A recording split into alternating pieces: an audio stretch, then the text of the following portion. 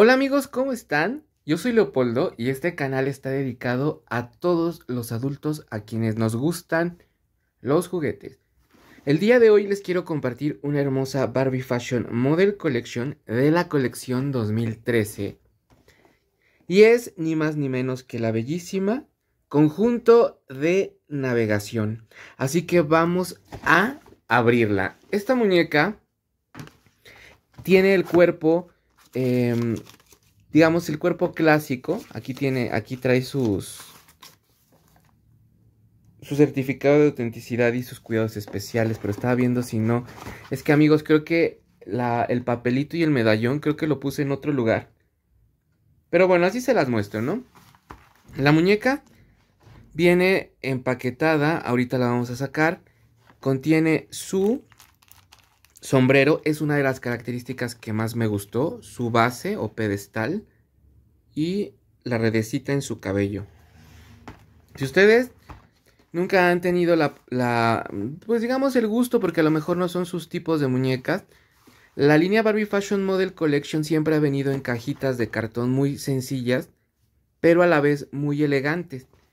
Cada año las cajas para las colecciones las las modificaban, a veces tenían rosas, a veces tenían una ilustración a color aquí, pero el origen siempre es una cajita cerrada. Por ejemplo, ella que es una de las primeras, es la número 2, lencería número 2.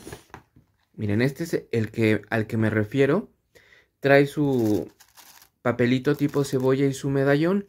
Sí lo tengo de esta, pero como se maltratan si, si las dejan ahí puestas, por ejemplo aquí ya empieza como que a doblarse. Eh, los quité y creo que los puse en una carpetita para que quedaran como resguardados. Vamos a abrirla y vamos a revisar qué tal viene. Espero que les guste mucho esta muñeca. Voy a cortar para esta vez no estar batallando y que la muñeca salga lo más rápido posible. Amigos, ya saqué a la muñeca de su empaque y quiero platicarles algunas cosas antes de comenzar con la descripción de la ropa y es la de las ligas de el cabello. Todas estas muñecas siempre vienen con un peinado, ya sea una cola de caballo, un ondas en su pelo para asemejar los peinados de la década de los 50 o los 60, el chongo alto o algún tipo de peinado que incluye que usen ligas. Pero ustedes saben que las ligas se truenan. Y esto que le pasó a las ligas de los pies, de los zapatitos, miren, le pasó o le va a pasar justamente a lo del cabello. Entonces, lo primero que hice antes de cualquier cosa, antes de sacarla, fue coserle con hilito todas las ligas que se tronaron, que aquí pueden observar, para que no se perdiera el chongo alto, que es lo que le da la forma o la personalidad a esta muñeca. Entonces esto siempre tengo que hacer. Utilicé un poco de hilo, mm, lo más cercano a su tono de cabello. Y donde van las liguitas, que es aquí, y es en... Pues le tuve que calcular ahí por dentro para que diera vuelta. Le tuve que hacer esos amarres y perdió un poco de belleza porque el peinado original viene aquí, hace una onda y sube. Entonces yo la verdad es que eso, digamos, lo sacrifiqué para que el cabello estuviera lo más firme y aguantar otros 20 o 30 años. Y otra cosa, las muñecas Silkstone vienen con estas redecillas en la carita y tienen que tener mucho cuidado con los pendientes porque a veces al momento de sacarlo el pendiente se atora en esta redecita y se truenan. Y además, no sé si se fijan, pero utilicé parte de la redecita para colocarlo en el chongo alto y lo cosí aquí con el hilo. Amigos, la verdad es que esto lo fui haciendo desde siempre, ya que siempre, aunque tú dejes una muñeca Silkstone en su cajita, ten en cuenta que todas las ligas se van a tronar y tarde o temprano vas a empezar a ver el cabello más suelto, va a ir, va a ir perdiendo su peinado, que a veces el peinado le da todo el estilo a esta muñeca. ¿Qué les parece si comenzamos con la ropa? Pero antes voy a estar bajando y subiendo mi cámara a ver si no se mueve mucho les quiero compartir. Aquí viene creo que una imagen. A ver. Creo que viene una imagen aquí. Yo la había visto, esta colección es del año 2013, a la cual pertenece ella. Y yo ya había visto esa imagen, esta muñeca. No puede ser que me la haya imaginado. Esta es la revista que te dan, bueno, te las dan cuando compras muñecas. Efectivamente, amigos, me la acabo de imaginar porque... Ah, no, aquí está. ¿Ya ven? Sí, sí venía. Miren, esta muñeca viene con el sombrerito y el peinado parece que es así. El sombrero, en el caso de esta muñeca, da la impresión como que está en la parte de arriba. Y yo la tuve que, digamos, hacer un poco más hacia arriba por el chonguito. O sea, el chongo debió de haber estado más en la mollera y esta la tiene, eh, digamos que arriba en la cabeza. Entonces, es una muñeca muy hermosa, pero el sombrerito más o menos quedó así, un poco raro. Ya lo veremos a continuación. Y les quiero compartir algunas imágenes que imprimí de la Barbie Fashion Model Collection. Mi carpeta ya está bien viejita porque desde que yo descubrí la Silkstone, cada vez que salía una, una muñeca, las imprimía. Entonces, a ver, este es del año 2013. Este es el 2008, 2009. Aquí está. Miren qué belleza. A ver, vamos a ver dónde empieza el año 2013. Aquí. Entonces voy, a, voy a mostrarles las... Lo que imprimí. Aquí tenemos como que el proceso creativo para que para ir creando la muñeca. Robert Best es el creador. Eh, los bocetos que hacen los diseñadores para crear sus, sus muñecas me parecen increíbles. Una obra de arte. Y aquí tenemos la ilustración que como pueden observar es muy muy real al proyecto final. Es una muñeca muy bien lograda. No sé si ustedes estén de acuerdo conmigo que muchas ocasiones la muñeca, el prototipo de la muñeca con el resultado final realmente no tienen mucho que ver. Entonces, por lo menos las Barbie Fashion Model Collection sí cuidaban que eso se llevara a cabo. Bueno amigos, les quería mostrar estas ilustraciones porque bueno, yo cada vez que es, incluso ahorita la, el más reciente, bueno no se puede porque está muy grueso, pero el más reciente es Alan, el que acaba de salir este 2024, entonces ya lo imprimí para llevar como el registro de los muñecos en Silkstone.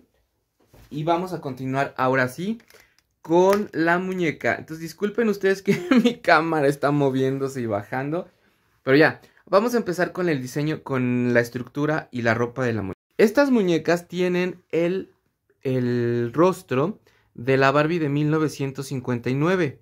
Pero como pueden observar, al ser silkstone y estar hechos con este material porcelanizado que es una piedra sólida, así dicen piedra de seda, su maquillaje es mucho más sofisticado y además tiene una intención en el rostro más delicada y mucho más intensa. Algunas Silkstone, incluso por estos maquillajes tan intensos, parece que tienen una mirada muy pesada. Pero era la época, en los 60, no sé si se dan cuenta, principios de los 60 sobre todo.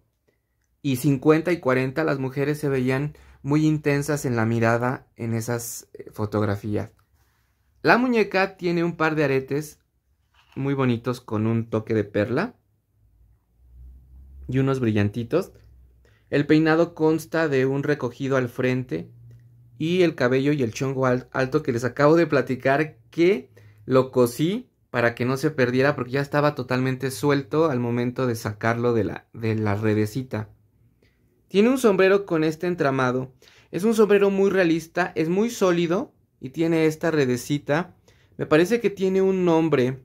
Tiene un nombre característico que es un sombrerito francés pero en este momento no me acuerdo de ese nombre. Ya lo había notado.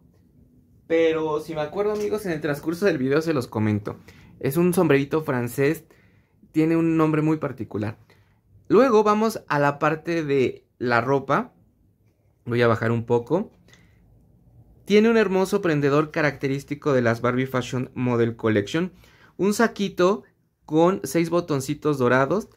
Este peplum no sé si se diga así en la moda, que le hace esta estructura del New Look de Dior, haciendo más exuberantes las caderas y muy definida la cinturita.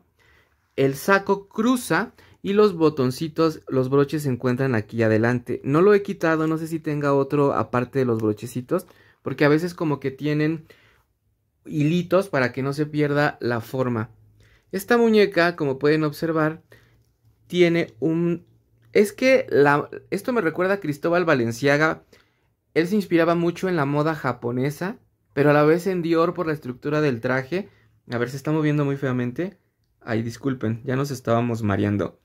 Este cuello, no sé si estén de acuerdo conmigo, es como de muy japonés, pero a la vez ya el vestido totalmente francés con esta cinturita.